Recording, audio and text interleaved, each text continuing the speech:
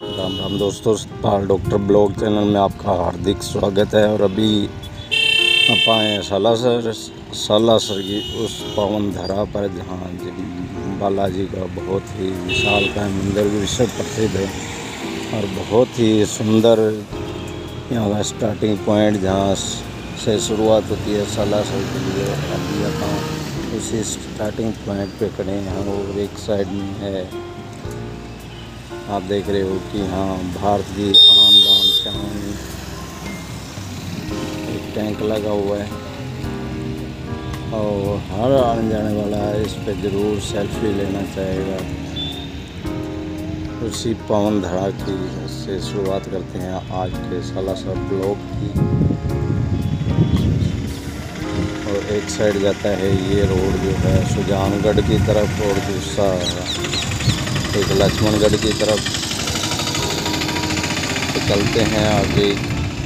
तो का वीडियो को बना रहिएगा नहीं किस्मत वाले हैं ये जो, अभी जो टैंक के ऊपर बैठे हैं। टैंक पे बैठ के अपना जन्मदिन मनाने के लिए केक काट रहे हैं। तो कितना ही बढ़िया अपने को महसूस गौरवान्वित महसूस करते होंगे जो ये केक काट के केक खा रहे हैं।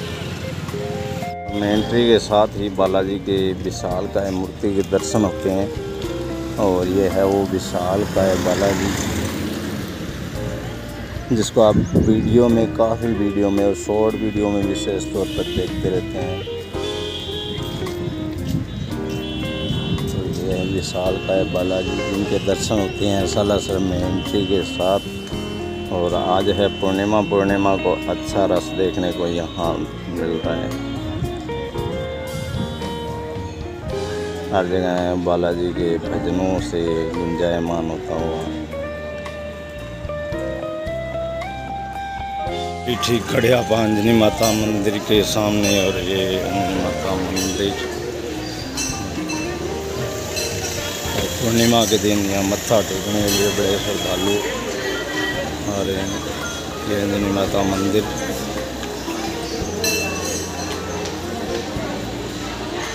की दुकानें जो सजाई हुई है, खूब सामान से।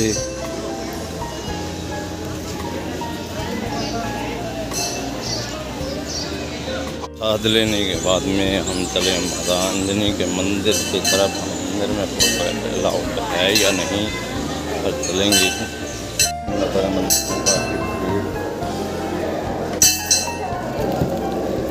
मंदिर का अद्भुत नज़ारा।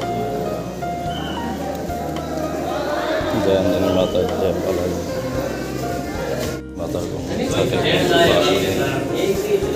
फेरे लगाते हैं श्रद्धालुगण अंजनी माता को मत्था टेकने के बाद में बिल्कुल सामने एक विशाल का है मंदिर जिसका निर्माण थोड़े ही वर्षों पहले किया गया था। लेकिन बहुत ही सुंदर यह मंदिर जिसमें आप अभी मत्था टेकने चलेंगे।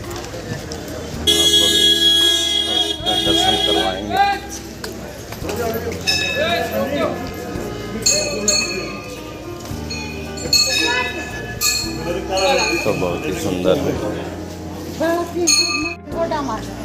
श्री राम जानकी मंदिर।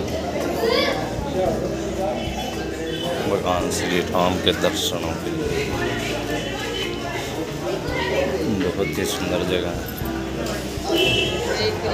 बहुत ही सुंदर। दरबार यहाँ मंदिर के परिसर को बहुत ही सुंदर बनाया गया और ये कुटीर एक जो जैसे पुराने जन्म टाइम में हुआ करते थे, वैसे बहुत ही बढ़िया जगह। पूरा दरबार यहाँ शिव शंकर भोलेनाथ के दर्शन।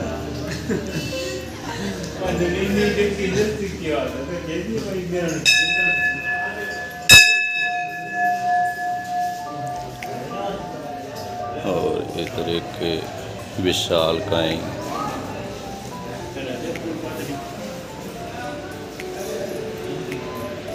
सुंदर कुटीर और नेचुरली वातावरण इस मंदिर का भगवान राम जी का, और ये है सालासर के अंदर।